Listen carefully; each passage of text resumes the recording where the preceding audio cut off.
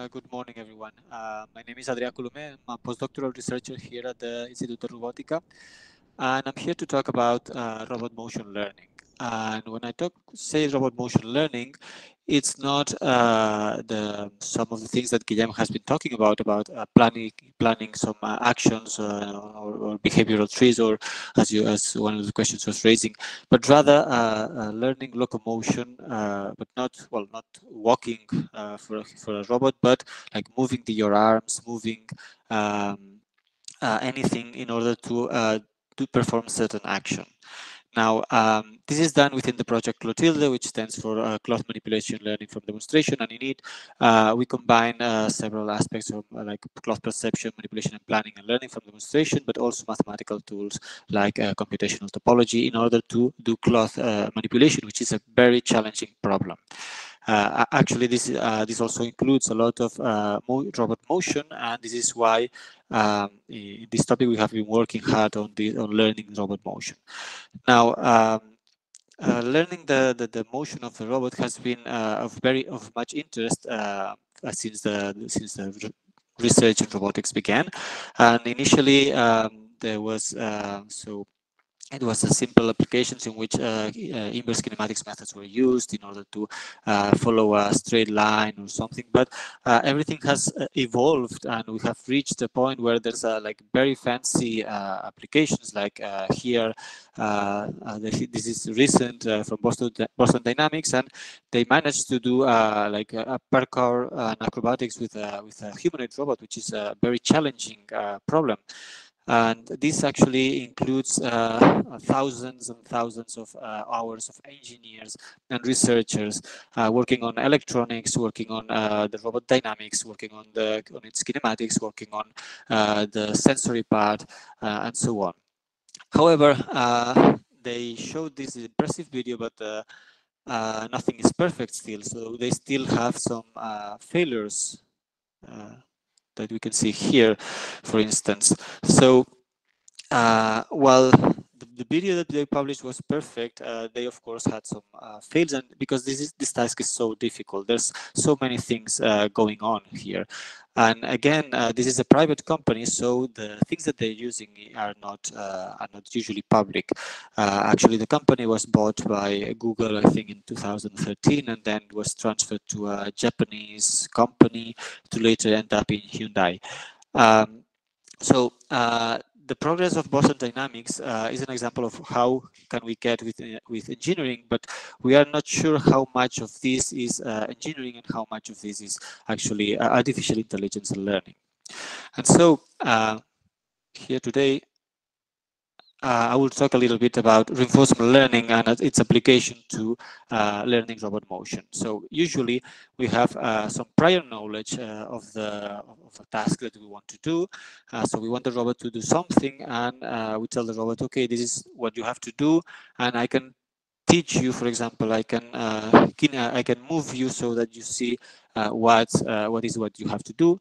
And with that, the robot learns what's called a policy. And a policy is uh, basically the robot knowing what to do at the, the, current state. So at the current state, the robot um, detects where he is, uh, how he is, where how's the environment, or, or uh, whatever is needed for the task, and then re uh, realizes that action uh, or, or, provides that output that is expected for, for him.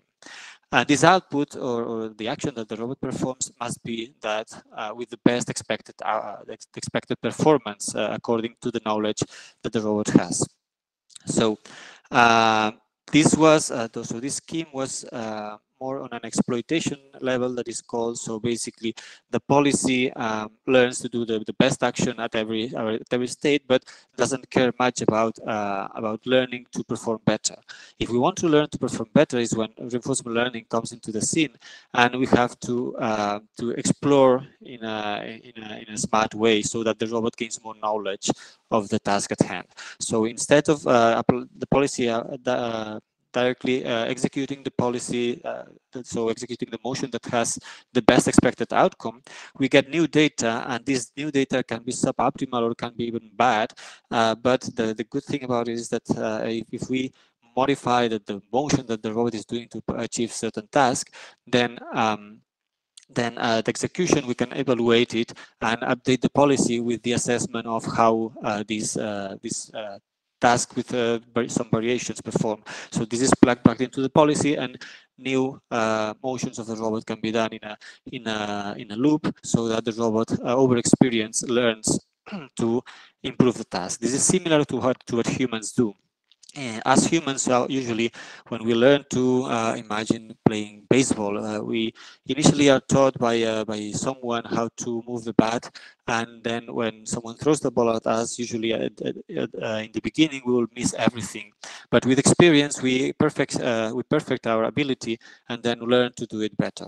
Of course, there's always external circumstances that can affect the task. In the case of the baseball, it would be where the ball is coming, what speed does it have, which exact uh, point around us will, will it hit?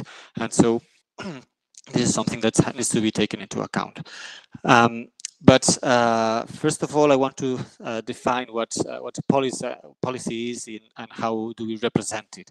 So um, usually uh, a policy is uh, what maps states into into actions and to define it we can go back to uh, to the general reinforcement learning in which usually Markov decision processes are used and MDPs uh, are uh, usually these uh, tuples of states, actions, transitions, and rewards. So um, states is how the the setup is. So imagine, for example, that I have a paper on my on my table and I, would, want to uh, I want to throw it into the garbage bin.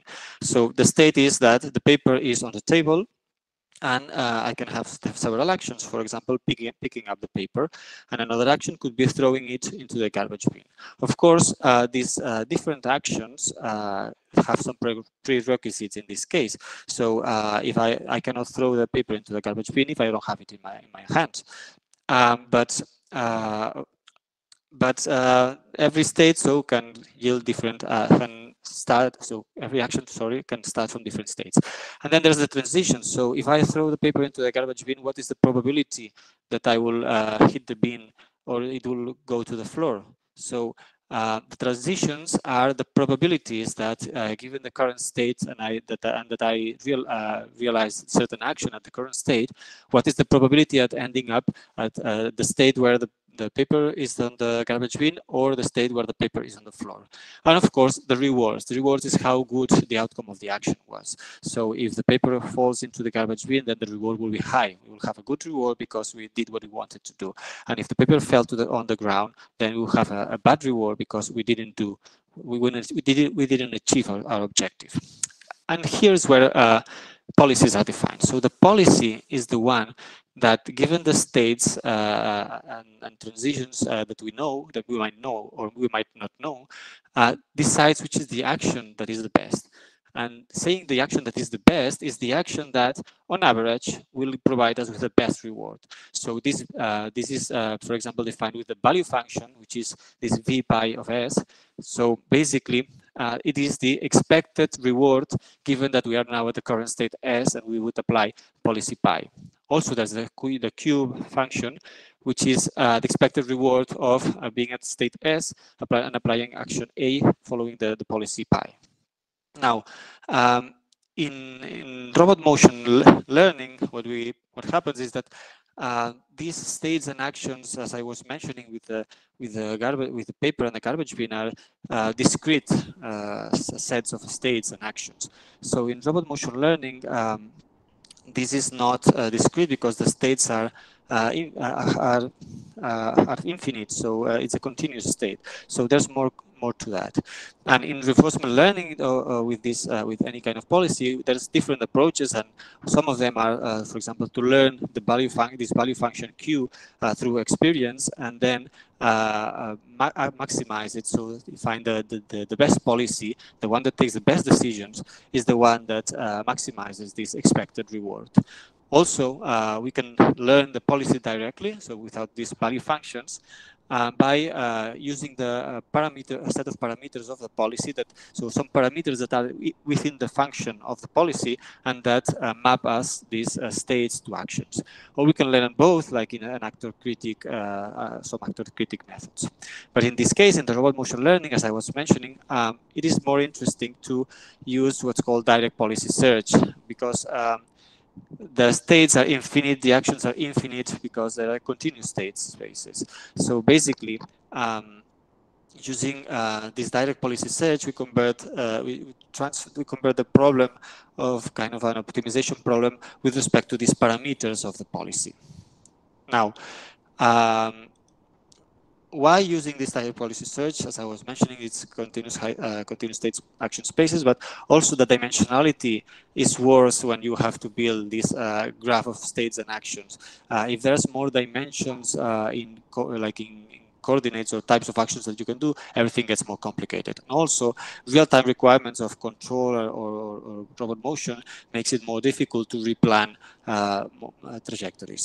Also, uh, direct policy search uh, has faster convergence and uh, you can also have uh, stochastic policies and you have more control over the exploration parameters than in, in the in the other reinforcement learning.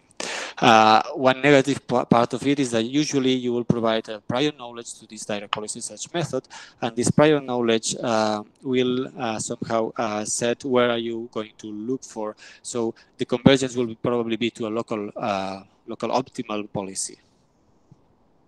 Now, um, in order to uh, work with continuous continuous state and action spaces, um, we have to reformulate the robot control as a reinforcement learning problem.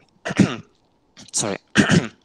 so basically, uh, in this case, the state space, uh, which was uh, uh the, the semantic state of like the, the, the paper on my table uh, now is the, probably the joint position of the, the joints of the robot, the pose of the end effector of the robot, or uh, any any other thing like, like that. And then the actions can be the torque that we apply on the joints. It can be the acceleration commands that we want on the end effector. It can be the desired state uh, of the end effector, etc. And the control policy will map us this the, the current state to Uh, uh, to a certain uh, torque, acceleration, desired state, uh, etc.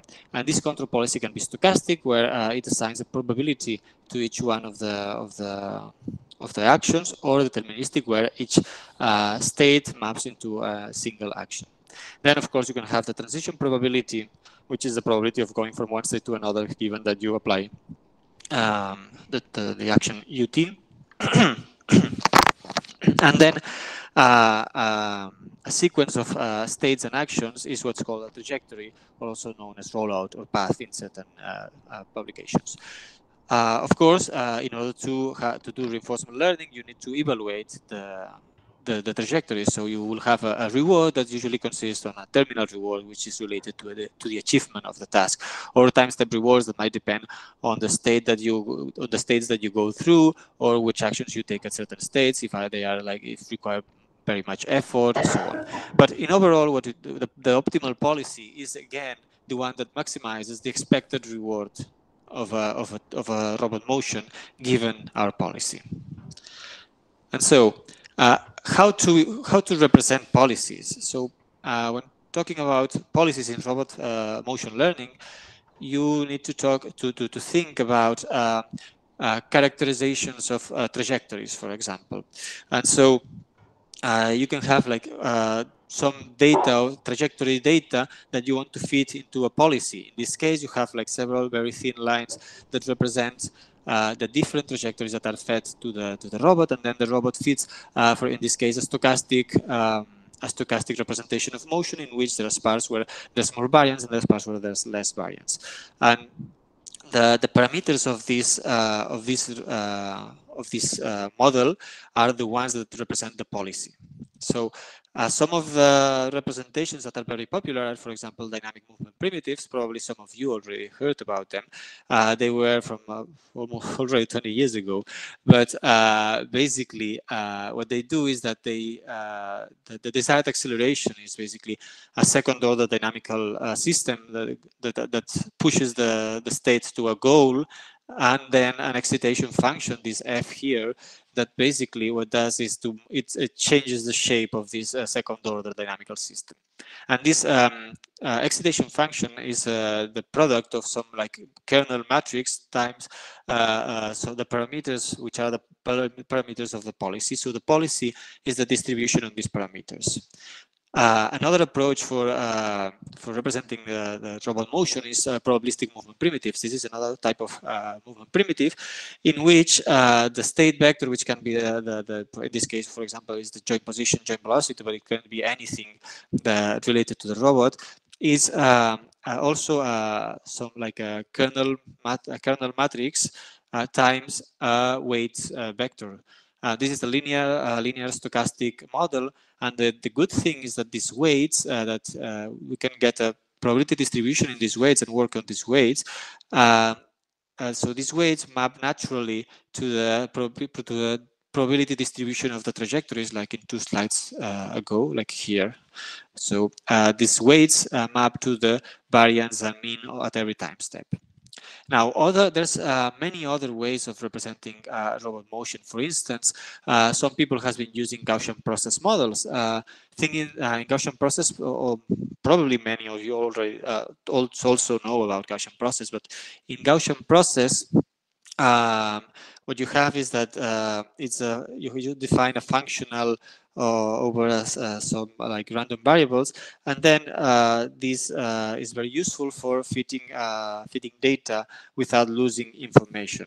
And without losing information because you define a kernel function that uh, stores the correlation between all the all the data points. This is good because you uh, keep more, more information than in other methods, but uh, it has the inconvenience that uh, the, this covariance matrix grows uh, with, with, the, with the amount of data, uh, data that you have. So uh, if you have n data, then this covariance matrix will, will be size n times n. And in order to do a prediction, you need to do an inverse of this matrix. So uh, so the computational the computational cost grows quite heavily. Um, in the case that we have, uh, so the problem uh, with uh, Gaussian processes for representing uh, robot motion is also that uh, you can have, like as I showed with the probabilistic movement primitives, um, there are parts of a trajectory where the robot can have more variance, meaning that uh, the, the, position is not very important at that part of the trajectory. And in Gaussian processes, um, the, the samples are assumed usually uh, the most common reaction process the samples are assumed to be to have the equal uh, noise variance which is, is, stands for kind of like the measuring noise. So uh, it is expected that the first, for the same input you would have similar output. And when you provide uh, samples with very large variance then what will happen is that um, this will create a very large uh, uh, inference on the on this noise variance that will will create the effect of the middle graph, where uh, the variance is not uh, well fit, but rather kind of an offset, uh, very homogeneous. On the contrary, there are versions of the of Gaussian process which consider time varying. Um, noise variance like heteroscedastic G, GP.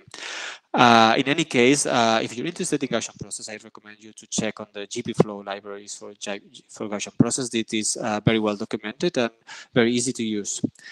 Um, but then, uh, which is the motion representation that is the best uh, amongst these or amongst any other? It, it depends on, on, on, the case. So for stochasticity, um, these, the, amongst these the examples that I mentioned, uh, probabilistic movement primitives and Gaussian process uh, uh, can represent stochastic data. Uh, they this means that they can add like bias points and condition and it's very easy to condition on certain points um, but uh, for example Gaussian processes are more difficult to fit usually because they need to go through an optimization problem as the the, the parameters inside the kernel are the ones that need to be optimized with respect to the data. And regarding the, uh, the parametric model, uh, probabilistic movement primitives and dynamic movement primitives have uh, more parameters that uh, that need to be tuned uh, by hand, basically heuristically, which are, for example, the the, the, the position of the kernels over time, the, the width, uh, those, uh, there's also a couple of parameters more in the DMPs, which are gains on the dynamics equation. On the contrary, in the Gaussian processes, what you need to, uh, to put by hand is uh, what functional do you, will you use for the kernel and what type of, um, of Gaussian process you're using there's uh, many more motion representations, so feel free to ask if you uh, have like suggestions or questions regarding them. Um, and then uh, once we have the policy representation, which again uh, is this uh, movement primitive that will define the, the trajectory uh, through their parameters, uh, we can um, we can learn. We, we want to learn and improve these parameters. Uh, so, uh, if, for example, in the case of the probabilistic movement primitive, the the policy is basically the mean and covariance of this set of parameters. And in Gaussian processes, uh, it will be the, uh, the, the, the, kernel and the hyperparameters that have been optimized for the kernel. And in the DMP will be the, the, the parameters also uh, that are multiplied by the kernel. But when we want to improve them, we uh, run more samples and we evaluate them and we try to update the model. And there's different ways of doing it, and we could categorize it more or less in three uh, three types. One of them is policy gradients, in which basically we we we find the gradient of the of that j, which is the expected reward given the policy. So we find the the gradient of this policy of the expect, expected reward with respect to the policy parameters and then we update it with a, with a learning rate. Then we can also do uh, expectation maximization, which basically converts the learning problem into an inference problem, a statistical inference problem. Usually in these cases, there is no learning rates, but it requires more computational cost and, uh, and is more complex to, to evaluate. And then uh, there's also uh, information theoretic approaches, which are based on information theory. And I want to uh, show an example of these methods, uh, which is um, uh, relative entropy policy search in which uh, the, the, they solve this problem.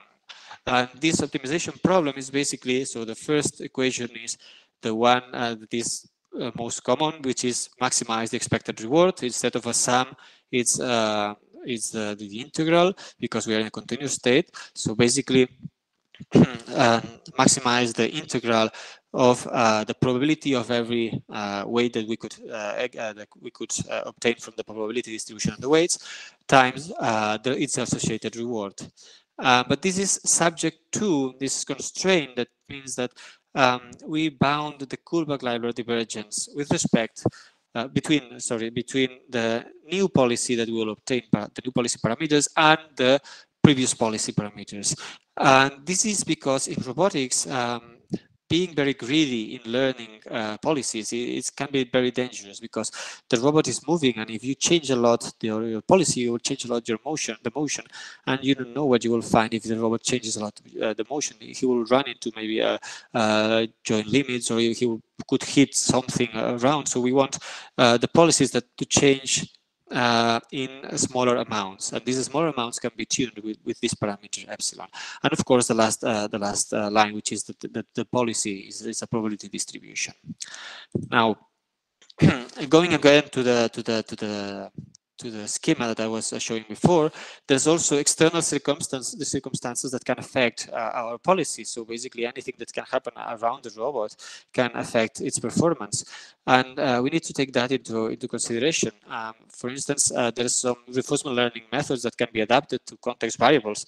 Uh, context variable is something that we can see or measure um, in the our surroundings, for example, if we want to pick, an, uh, pick up an object, so the position of that object could be a context variable.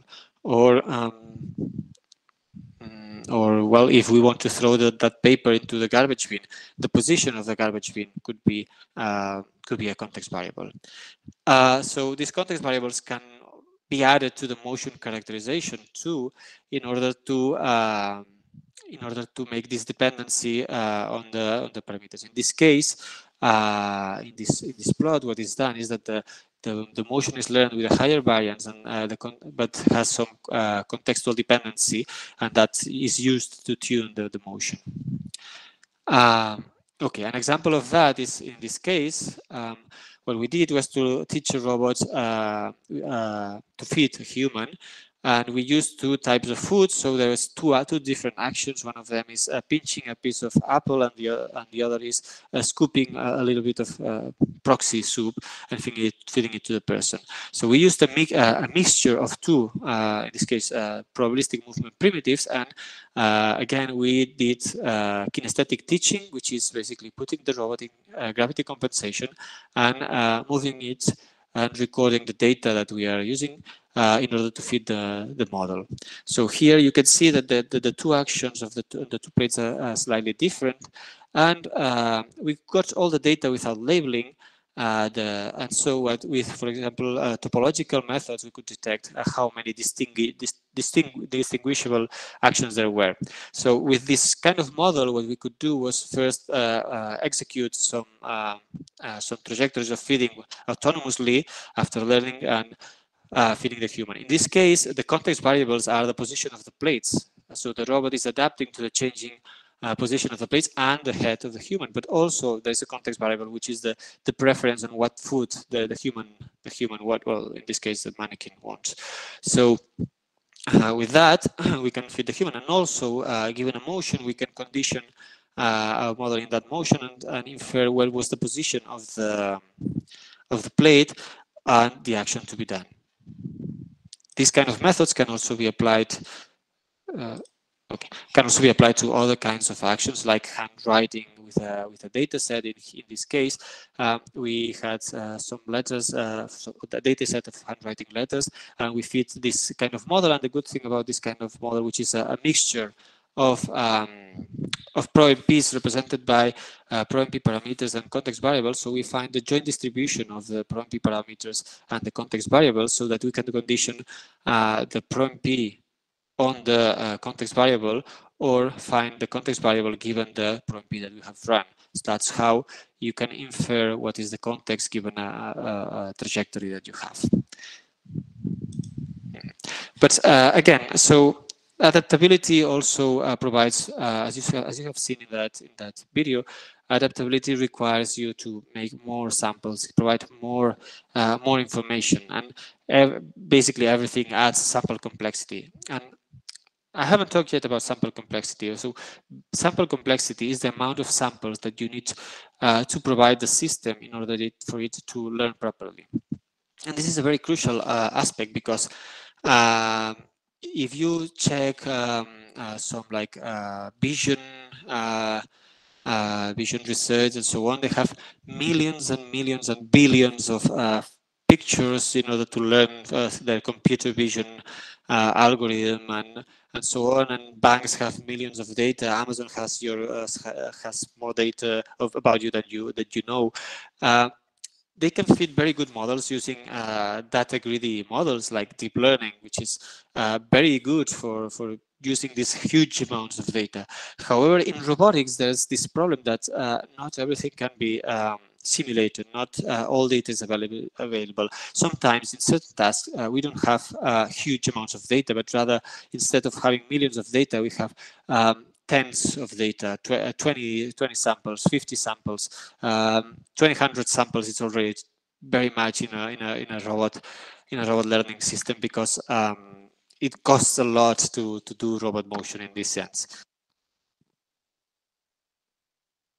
Um, there's things that add sample complexity and uh, for example the motion representation can add sample complexity. If your motion representation is too redundant in the sense that uh, it has more parameters that is needed, this can uh, require you to provide it uh, with more data than you actually would uh, with another method. Also, uncertainty on the environment. So the, the uncertainty of running a certain action and not knowing exactly what will happen in the real world also adds sample complexity because we need to learn how uh, how we deviate with respect to this uh, changing environment. The adaptability that, that I have been showing, so the changing the position of the place adds sample complexity. Also, if we, if we want to provide the robot with rich information about how are the precision requirements of the task, like in the ProMP plot that I was showing before, this also adds more complexity. And if you want to learn the dynamics of the, of the robots or the reward on the fly, this also adds more complexity. So how to do everything efficiently? So uh, apply the prior knowledge that you have on the system uh, if you don't want to be uh, like very general, you can uh, restrict a bit your problem in order to achieve uh, more success. Also, if you feel that your models have uh, are too high dimensional, um, or your but the environment is, is also very high dimensional, you can try to reduce the dimension of the problem and work in a, in a in a smaller problem that will be probably easier to solve, and then project upwards to the full system. Also, you can choose uh, what where to sample. So in this uh, uh, probabilistic movement primitives, what is usually done is this uh, probability distribution on the on the policy weights. They it is they generate um, random samples there. But what if instead of generating random samples, I look for the sample that uh, will provide me the most information that will be very useful and maybe it will save me from running the moving the robot more times. And also transfer learning, meaning that if you can learn something on another system that is very similar and you can transfer it to the to the robot so that we uh, save a little bit of time too. So uh, in plugging prior knowledge uh, in policy search, uh, there's uh, not only uh, what I've been showing the model-free approaches where you just run so run the code with with the demonstrations that you have and uh, and do not model it, anything on the on the environment. So uh, you can do model-based policy search, in which you can learn uh, either the dynamics of the of the system that you're manipulating, or the dynamics of the system, or the of the robot, or the transitions uh, on, on the states of the robot. But you can also um, model the, the the reward that you will get. So if you run uh, several several uh, motions and you can get the reward of, from them, you can maybe build a model of the reward because usually um, the reward is something that um, that we that is kind of defined heuristically for certain task. So you will build a function and after every execution you will I say, okay, um, we evaluate the function that I invented because I think that if I want to throw the paper into a garbage bin, the reward function will be how close uh, the ball landed uh, to the garbage bin.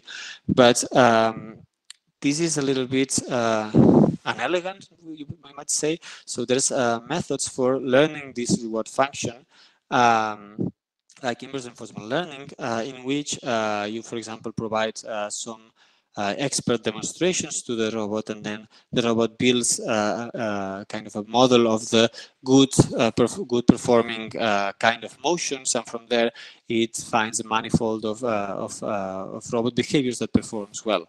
Um, again, in in this in usually usually the reward is uh, the reward function can be evaluated by measuring the output of the of the of, of the of the scene, but uh, it is not usually a very uh, a direct uh, mapping from the model parameters uh, to the reward. So it's kind of like a black box from where we measure some things and then we extract the value.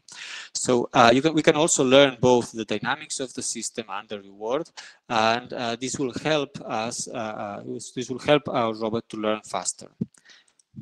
And one of the things that I was uh, telling you about uh, how to like gain some gain in sample complexity is to use dimensionality reduction. In using dimensionality reduction, so imagine that we build a policy representation of the motion of the robot, and uh, in order to capture the variance of it, we we need to use a ProMP with um, 15 uh, uh, 15 uh, Gaussian kernels per degree of freedom uh, this this will add up and if you have like 14 um, 14 degrees of freedom of between the two robots uh, will be over 200 uh, 200 samples uh, two, sorry 200 uh, dimensions in the in our in our policy representation.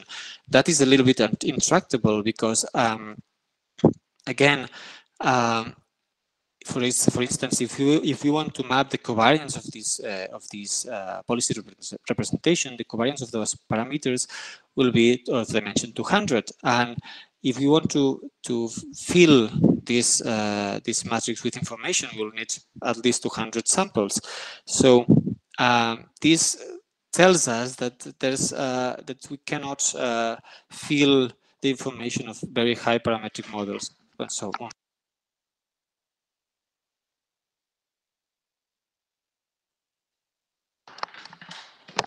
Sorry, uh, there was an interruption. Uh, what was I? Okay, uh, so basically, um, by projecting the uh, the representation that is very high dimensional into a lower dimensional space, um, we can um, we can make the problem faster, and we can also learn information about how the um, the different degrees of freedom correlate each other, and we can use it later for uh, latent space control by augmenting the redundancy of the task. Now, uh, an example of uh, dimensionality reduction that is not purely a dimensionality reduction method is that in some cases you can have um, symmetry patterns between the between the demonstrations. So in the case of uh, folding a piece of cloth, what you see is that uh, there is uh, a symmetry between the two arms, and we, if we can put like a symmetry surface between them, we can we can have the motion instead of representing it by the motion of the two arms, represent the motion of one arm and project it uh, and mirror it with this uh, symmetry uh, surface.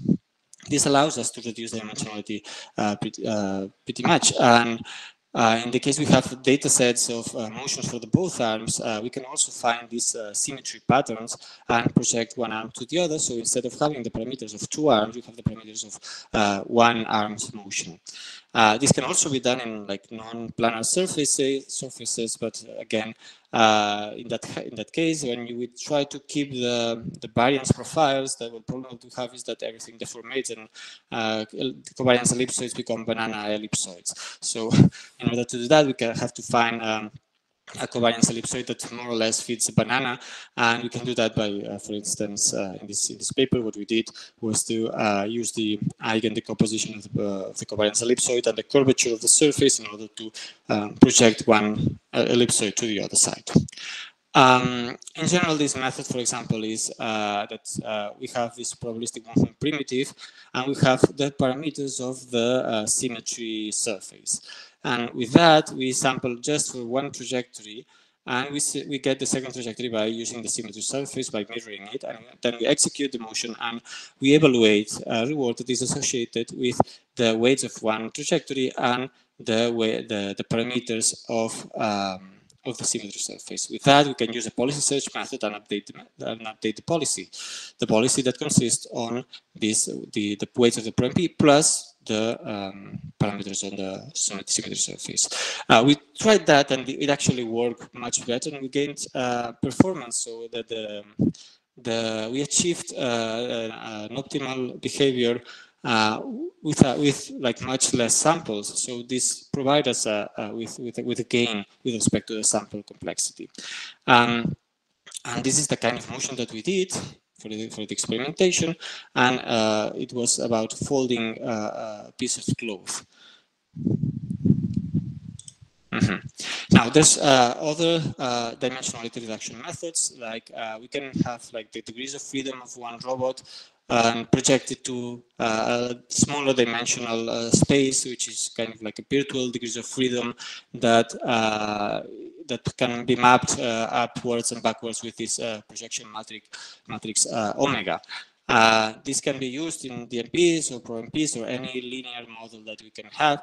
And in this case, we applied it to uh, folding uh, clothes with two with two arms. We used the controller in the Cartesian space. We placed the arms according to some like placing algorithms, and we applied. we did we did move the robots with a compliant controller for of which I will, I will talk later. And using this methodology, we could actually um, achieve a, a, better performance. So, um, so here, uh, first of all, we were teaching the humans, um, well, the humans were practicing a little bit uh, how to fold the polo in order to do the demonstration because folding a polo with just a pinch grasp is not as easy. Uh, maybe Julia will talk about it, but uh, then uh, the one who did better, who was me, uh, trained the robot with kinesthetic teaching, and from there on, the robot was running uh, executions and trying to improve the motion. We have we had um, a rooftop camera that was basically measuring, uh, in this case, uh, how squared the the the the the, the, fold, the, the folded cloth was on the on the table. Uh, unfortunately, in this case, it was not measuring how wrinkled it was. So basically, the, the robot actually learned uh, to, to put it pretty squared, and as its projection pretty square, but not uh, unwrinkled.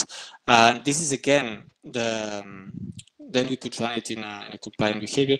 Uh, this is again uh, why I was um, telling you that the importance of the uh, reward of building the reward function. So we built a reward function in which the wrinkleness of the result was not important, and we realized, okay, so basically, if we do not tell the robot to have the the cloth flat, then it will actually have the cloth very squared but wrinkled. Um, Okay. Other approaches that use dimensionality reduction are uh, those like in this paper where we used uh, what's called Gaussian process latent variable models. Uh, in these Gaussian process latent variable models, uh, what we did was to use an extension of the Gaussian process that is used to reduce the dimensionality of a problem. Um, this is very interesting because uh, in usually in dimensionality reduction methods, uh, what, uh, what, the methods look for is uh, they look for a mapping that maps the variables to a latent space uh, that in which we keep the most information from the original data. But in this case, uh, the, the, the, method doesn't look for a mapping, but rather uh, finds directly optimizes for the, the latent space variables that, that, uh, that contain the most information, so that have the less information loss with respect to the data. And this is a very aggressive way of them producing the dimensionality, uh, although uh, it has uh, it can have like computational um, it can be computationally more costly. And what we did in here was, uh, so basically we had, uh, in green, we had some trajectories, which were like the, the input, our knowledge of the, of the task. And we did this um, high, we, we uh, put it in this high dimensional space of uh, parameters, uh, of policy parameters. We could weight them uh, with methods, uh, with different weight methods for giving importance to the trajectories, and then project it to this latent space, which is much smaller dimension. We are talking that uh, about uh, projecting from dimension, uh, if I if I remember correctly, maybe dimension 70 to dimension two or three. So uh, it's a very like factor of 30 in the dimensionality reduction. And there, in this very small policy representation, very small dimension policy representation, we could actually do uh, uh, do this uh, reinforcement learning. And actually, in this case, what we did was to use uh, Bayesian optimization in order to find the samples that we would provide the most information to our model. So uh, that in that way, uh, we would, would go in this loop and try to get to use the less the less samples as possible. And regarding Bayesian optimization, um, also uh, probably many of you already know about Bayesian optimization. But in Bayesian optimization, uh, you set uh, uh an acquisition function that tells you how good the knowledge uh, of of, uh, of, a certain function that you want to fit is, and then you you get you sample there and gain knowledge on that region of the of, of the of the domain of the function that we want to fit. In this case, the function that we wanted to fit is the reward. So basically the mapping from the latent space to the reward so that we can know where the best rewards are in the latent space and then project it upwards to the full space. And uh, aside from this, uh, there's other methods I, I would like to talk about, but uh, I, I don't think I can because of time restrictions. But for example, um, transfer learning is very important. I think I already mentioned it. Um, uh, basically, uh, being able to uh, acquire some knowledge on, on one robot or from a human and transfer it to the robot by uh, mapping, for instance, uh, the joins or learning methods that can uh, learn to efficiently transfer this according to some like performance indicator. Uh, in this case, we we did transfer learning from a human with an Xsens uh, uh, suit, which was which is a motion capture suit that maps these uh, sensors, uh, converts it to a 3D model of a human. So we were able to imitate a human with this with the Tiago robot.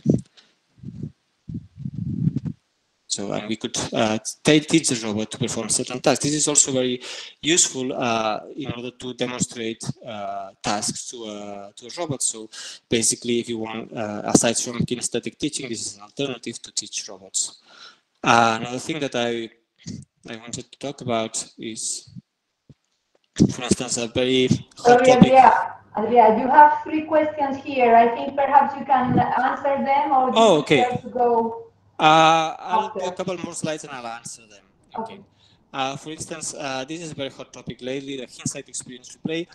Um, this is used uh, both in deep learning and robot motion learning, uh, but the, the interesting insight uh, on, the, on HER is that uh, you assume that uh, the fail executions that you did, so you do uh, you do a motion of the robot and the output is not good, but then what you can do is that assume that, okay, the, the, the, the, end, the, the end state that I reach with this bad uh, execution, uh, what if I consider that it was actually my target? So you change the data so that your target now, it was the, the end situation and say, okay, if my static situation is this one, I apply this policy, and my target is the one that, that I ended up with, then it, I can assign good reward to this. So with that, you provide more richness to the data set. So it's something that you need uh, to consider. Uh, and also uh, in, in, in, sample complexity, there are different ways uh, you can you can get you can gain information about the the, the robot motion learning. Uh, in this case, so this is a, a very uh, good scheme. You can, for example, learn the dynamics on the left. You can learn the rewards on the right. Your policies in the middle, and you can provide priors to the dynamics. Uh, you can uh, model it uh, with uh, certain parameters that you can optimize. You can also provide a prior on the expected re rewards and do a Bayesian optimization to find the samples that will provide you with more information of it. And in your policy, you can put prior structures, um, like in the Gaussian process, or a prior on the parameters, uh, like in the probabilistic movement primitive, where from demonstrations you feed the initial models. In, in Gaussian process, from the from, from well, you set uh, the kernel uh, functional that you will use. Now I will answer uh, some questions uh, that I have. Uh, let me see. Okay. Um, Mario said, yeah. yeah, implementation wise, what do you mean by applying prior knowledge on the system? So yeah, um, implementation prior knowledge means uh, data, basically. Uh, data or, um, or the shape of uh, the policy, as I was mentioning. So um, if it's going to be a, the, the, the, policy will be a Gaussian process or the policy will be a movement primitive, uh, what kernel will the Gaussian process have, what data you will use to initialize the, the, the, the robot motion learning, because again, uh, learning a task, a robot motion, without any prior knowledge, any demonstration, then it's uh, you cannot do that in the real world. You can do that in simulation and so on, and you see those videos where the the, the, the, robot is like shaking uh, very much in the first like I don't know uh, 2,000 iterations until it reaches something that it makes a little bit of sense. But usually you will provide a little bit of information, like a, a few demonstrations to robot, like this is more or less how I want you to do it. And from there on, you can learn to improve it. Um, okay, so Peter uh, says, how do you pick which trajectory gets trans uh, transposed using symmetry? Is it always, for example, from left arm to right? Is there any consideration to which? Um, that's a good question. Uh, usually, um, you can, yeah. So as the, as these like kind of fittings are computationally fast, you can like check both of the projections. But uh, I don't think it's very. It would make very difference, for example, in the planar symmetries. Mm -hmm. Ignacio says, is it recommended to first to learn first the simulator directly in a real scenario? How can you avoid the robot seeing your hands modifying the robot pose? Okay. Um, so if you have a simulator, of course, it can be useful. And the thing is, uh, if the simulator is good, then even better. Um, the, the thing is that, of course, when you go from simulation to reality, there will be changes. And uh, so I don't want to roast uh, the vision uh, researchers uh, also, but uh, in vision, uh, they usually work on simulation because or, yeah, they basically use benchmarks for everything. And there's not that much amount of vision researchers that go to the like real world scenarios, which is which always, has more complications. Um, but in robotics, of course, uh, if you want to learn a policy on the simulation and then transfer it to the real robot, then it's great because you provided the robot with more information. And but of course, consider that if you were you had converged already in simulation, you will maybe have have to synthetically add variants to the policy so that the robot starts exploring again. Because in the real scenario, uh, it will require uh, to to explore more. Um, Ignacio, uh, you also said, uh, how, about, how can you avoid the robot seeing your hands modifying the robot pose? Okay, so when doing kinesthetic teaching, you can um, you can record data in different ways. So one of them would be to uh, record the end effector uh, position by uh, doing the forward kinematics and recording the joint position. That would be the easier one, and you, you would have no um, no uh, occlusions uh, in your knowledge. Also, uh, with uh, with this motion capture system, you can um, you can capture the motion and you can you can see uh, that you have on your computer on your computer what you have sent to the robot. In the case that you're using vision, of course, uh, you have to be careful with with with you occluding the, the, the robot because um, if you occlude the, the, the robot then um, of course you will probably miss some parts of the of the trajectory but you can maybe interpolate between them and then have the robot uh, learn uh, learn yes uh, so I had like lots of more material but um, just uh, to uh, just to do a couple more slides. Um, you, uh, I have been talking about uh, robot motion learning and, and, but basically policy representations uh, at the at the position at the at the position level velocity. But uh, when you work in a human environment, uh, you need to take, take into account the control because you don't want the robot to hurt anyone. So, for instance, uh, in you can uh, teach a robot to put a scarf on a mannequin, and you can okay put I put the robot in kinesthetic teaching. I record the end effector poses of the robot, and then um, I build this. Uh, in this case, it was a dynamic movement primitive and then the robot can execute this motion. But the problem is that the robot is very strong and its, um, the, its control might be very rigid. So uh, if the mannequin moves, uh, then uh, the robot can hurt the mannequin. So it might be not something that we don't want to do. So we have to look for uh, what's called compliant controllers. And compliant controllers are, are some kind of controllers in which uh, by using the knowledge that we have uh, on the dynamics of the robot, we can um, adapt them so that they do the just the necessary torque to move the robot. And then if a human interacts with it, the robot will accommodate to the perturbation of the human.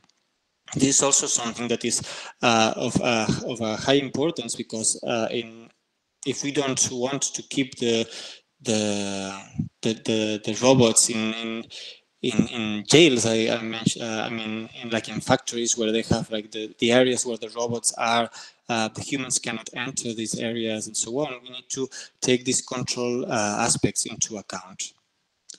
And um, yeah, so basically, I think, yeah, that would be enough for today. Um, thank you very much for your attention. Now, if you have any other question, I think we have like uh, five minutes or so. So. Thank you, Adrià. Thank you very much. We have five more minutes for any questions.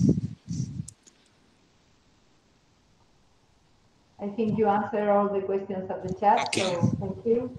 Okay, thank you very much. Okay. Have a nice day. Thanks.